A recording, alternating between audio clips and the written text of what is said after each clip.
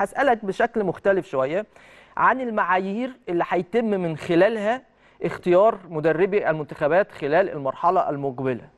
وهل المعايير دي كانت موجودة أصلا ولا ما كانتش موجودة؟ هو طبعا كابتن في كل مجلس إدارة بتبقى في معايير بس المعايير مع كرة القدم الحديثة يمكن حتى الفيفا عاملين محاضرة من ضمن المحاضرات اسمها آه. فوتبول توداي آه. كرة القدم وحاطين سبع بنود رئيسية في كرة القدم الحديثة. تمام وبالتالي حضرتك لما بتيجي آه، يعني تختار في كل مرحلة من مراحل المدربين مم. لابد إنك أنت تواكب التطور اللي حادث في كرة القدم على مستوى ال- العالم أيوه يعني دلوقتي كرة القدم مثلا كانت زمان ما لهاش علاقة بالاقتصاد بشكل كبير جدا آه. كانت كلها هو دلوقتي كرة القدم أصبحت آه، كرة القدم مرتبطة بالإقتصاد تمام. وأصبحت صناعة مم. وبالتالي المدرب اللي عندك مش بس ليه إمكانيات ومهارات وإمكانيات فنية لابد أن يكون كمان ليه إمكانيات تسويقية مم. لأنه ليه دور كبير جدا في عملية التسويق حتى لو ما كانش بشكل مباشر بيبقى بأشكال مم. آه، غير مباشرة مم. فالمدير الفني أو المدرب بصفة عامة لابد إن يكون عنده فكر إداري وعنده فكر في عملية الاستثمار والتسويق.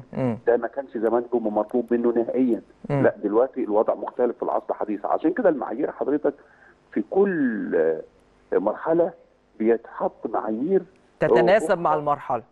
بالظبط كده تتناسب مع المرحلة. وده اللي ده اللي إحنا عاكفين عليه تماما حضرتك مم. وبنعمله في ال- المرحلة ال- الحالية إنه إحنا بنعمل معايير جديدة وطبعا ما بنبدأش من الصفر عشان أبقى صريح ما بنبدأش من الصفر لا هو ده مهم إن أنتم ما تبدأوش من الصفر بصراحة لا إحنا مع- بنبدأ آه. ال- المعايير اللي كانت موجودة في السنوات السابقة كانت آه، إيه طب آه. إيه إيه الجديد اللي عندنا اللي إحنا لازم نحطه. وإيه اللي موجود في دول العالم أنا أنا يا فندم؟ اشك أشك إن في السابق كان في معايير أشك يعني يعني دي دي حاجة بعيدة عن حضرتك حضرتك ما كنتش موجود يعني في ال في في في, في الإدارة دي بالتحديد بس أنا أشك إن كان في معايير بس خليني أسألك سؤال مهم لأن المداخلة دي بالنسبة لنا آه، أو بالنسبة لكل المتابعين وبالنسبة لي أنا تحديدا مهمة جدا أعرف منها حاجات آه، كتير.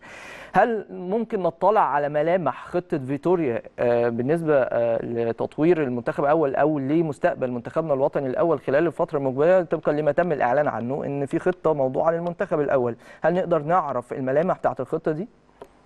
والله حضرتك بالنسبة للخطه فيتوريا أو أو خطة المنتخب الأولمبي دي أيوة. بتبقى مسؤولية الأجهزة ال- الجهاز المنتخب الأول والمنتخب الأولمبي. تمام.